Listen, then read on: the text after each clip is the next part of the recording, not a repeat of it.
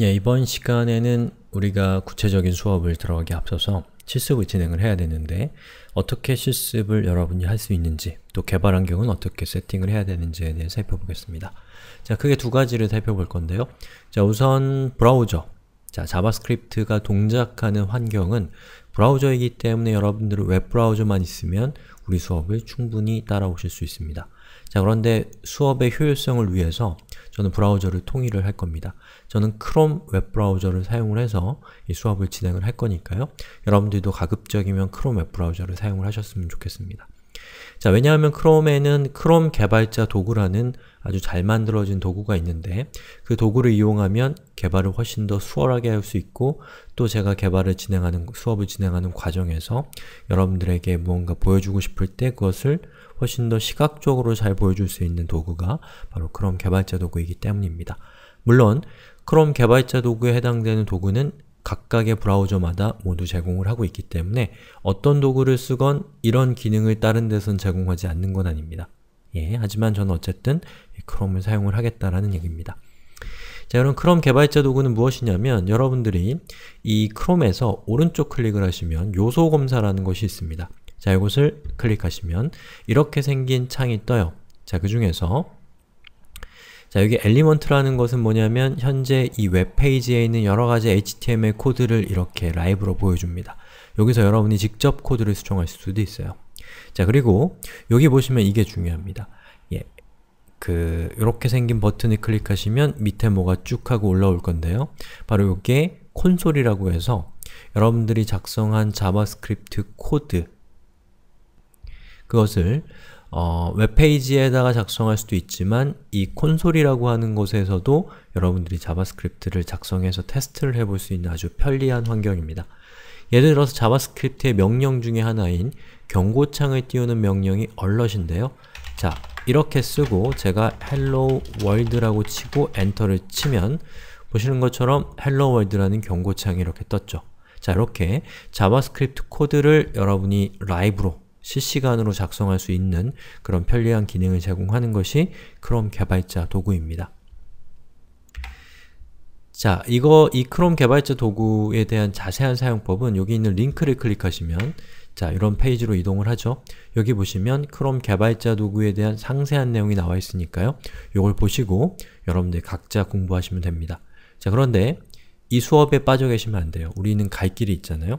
그래서 크롬 개발자 도구를 사용하는 과정에서 제가 서, 수업에서 여러분들이 필요한 내용이 있다면 그때 그때 설명을 해드릴 거니까 지금 여기 있는 내용을 보지 않으셔도 되고 나중에 시간이 되실 때 그때 살펴보시기 바랍니다. 자, 그 다음에 에디터가 있어야 돼요. 자, 에디터라고 하는 것은 무엇이냐면 여러분이 프로그램 코드를 작성하기 위한 도구예요. 자, 그런데 이 도구를 여러분들 운영체제에 기본적으로 설치되어 있는 메모장이라든지 또는 텍스트 에디터라든지 이런 것들을 사용해도 됩니다. 자, 그런데 이것들을 사용을 하게 되면 좀 불편해요. 그래서 어, 이러한 목적으로 고안된 여러가지 도구들이 있는데 저는 그 중에서 Sublime Text라는 에디터를 사용을 하겠습니다. 자, Sublime Text는 여기 있는 링크를 클릭해서 들어가 보시면 Sublime Text에 대한 상세한 수업이 있습니다. 자, 그 중에서 이 수업 뭐 소개 정도 한번 보시고 그 다음에 설치, 자신의 운영체제에 맞는 어, 설치 방법을 찾아서 거기 있는 대로 Sublime Text를 설치하시면 됩니다. 자, 그렇게 해서 실행한 Sublime Text는 이렇게 생겼습니다. 자, 여기 있는 이 Sublime Text를 이용해서 저는 사용을 할 건데 아쉽게도 무료는 아니에요. 그렇다고 얘를 꼭 돈 내고 써야 되는 건 아니고요. 여러분들이 기본적으로 사용하시는 데는 아무런 제약이 없습니다. 그런데 하루에 한 번 정도 구입하실 것을 요청하는 어, 안내가 떠요. 그러면 여러분들이 경제적인 여유가 되신다면 고맙잖아요. 이런 도구 우리한테 제공하는 거 구입을 하시면 되고요. 그렇지 않으시면 하루에 한 번 정도 귀찮음이라고 하는 어, 귀찮음을 지불하시면 합법적으로 얼마든지 사용할 수 있는 도구입니다. 자 그러면 이 Sublime Text를 아주 기본적인 사용법만 제가 소개를 해드리면 자 우선 요 위에 보시면 view라고 하는 항목이 있죠. 저걸 클릭해 보세요. 자 그럼 그 중에서 sidebar라는 것이 있습니다. 제일 위에 지금 살짝 잘리죠? 자, show sidebar라는 것을 클릭하면 저처럼 이렇게 sidebar가 출력이 될 겁니다. 저건 뭐냐면 우리가 작업하고 있는 그 코드, 코드를 관리하는 그런 도구라고 할 수가 있어요. 자 그럼 여기에다가 자 여기 프로젝트라고 되어 있는 부분 있죠? 이것을 선택하셔서 여러분이 작업하려고 하는 여러분이 지금부터 실습을 진행하면서 여러가지 파일들을 만들 건데 그 파일을 한 곳에 관리를 할 거 아니에요? 어디에 관리할 것인지에 대해서 여기에다가 등록을 하는 겁니다. 한번 눌러볼게요. 자 그러면 이렇게 뜨는 이런 폴더 선택하는 부분이 나오죠? 맥은 좀 다르겠지만 맥을 쓰시는 분들은 어떻게 하는지 알 거예요. 자 그럼 여기에 적당한 디렉토리에다가 자신이 실습을 진행하려고 하는 디렉토리를 만드시면 되겠죠. 어디가 된, 어디에다 쓸 건지는 여러분들이 알아서 하시면 됩니다. 자, 저 같은 경우 윈도우이기 때문에 새로 만들기에서 폴더를 하고 웹브라우저 JavaScript라는 뜻에서 저는 WJS라고 썼지만 저것은 여러분이 창의성을 발휘하면 되는 이름입니다. 자, 이렇게 해서 디렉토리로 들어간 다음에 이 상태에서 폴더 선택을 하면 보시는 것처럼 WJS라는 방금 생성한 폴더가 리스트에 추가가 됩니다. 자 그러면 여기서 제가 오른쪽 클릭을 하면 자, new file이라는 것이 있고 new 폴더가 있습니다. 예를 들어서 제가 어, 실습 방법에 대한 수업을 한다. 그러면 뭐 개발 환경이니까 dev env 똑같이 할 필요 없습니다. 여러분이 적당한 디렉토리를 만드시면 됩니다.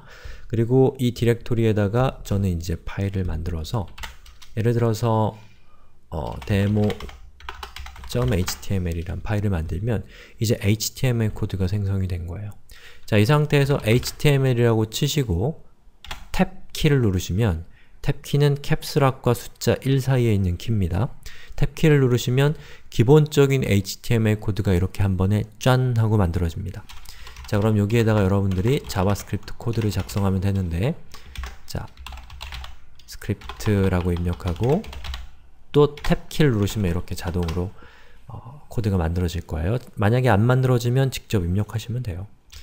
그리고 alert 하고서 1이라고 하고 저장 하면 되는 거죠.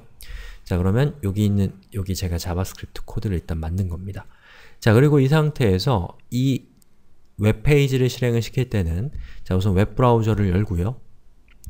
윈도우를 사용하신다면 Ctrl O 키를 누르시면 파일을 선택할 수 있는 화면이 뜹니다. 자 그럼 아까 생성한 그 디렉토리로 가셔서 그 파일을 이렇게 클릭하시면 이렇게 파일이 열리는 거죠.